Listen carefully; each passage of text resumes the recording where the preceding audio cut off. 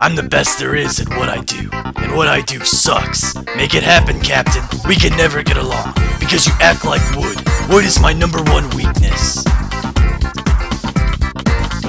Hello and welcome to the new and improved Email Wolverine.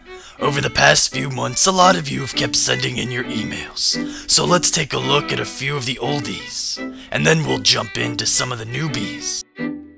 Dear Wolverine, you are the coolest Mighty Mugg, and I think you are awesome. I wanted to know what is your favorite drink? Sarah. That's an easy one, Sarah. My favorite drink is apple juice. But that's next to oil, of course. That stuff has got a real kick to it. By the way, I hope your last name isn't Connor. Otherwise, I'd pack up your things and leave town. Yo, Wolverine, your mug is seriously cool. Does Jason allow you to read the comics about you? Did you even know there were comics about you? That's all for now. Sknit. Snit. Look, I'm not an English major, I just read what I read. Weapon Cap. Well, Cap, let me tell you, any comic about me is epic in scale. Maybe you should start collecting all the comics that have me in it.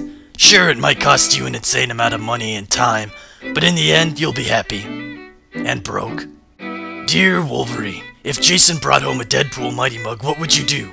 Would you A. Put him in a blender and shred him into tiny little plastic pieces? B toss him out a window, or C, just let him annoy you until his little plastic lungs wear out? From Frank.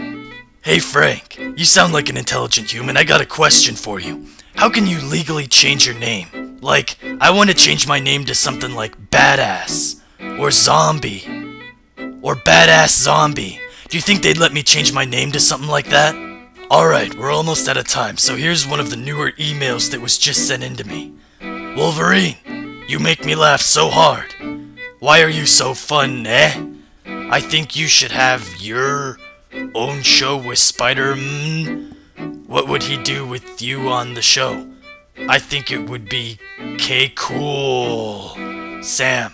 Hey Sam, you know something? I'm already on a show with Spider-Man. You know what it's called? Superhero Muggs. But I appreciate the effort in your email.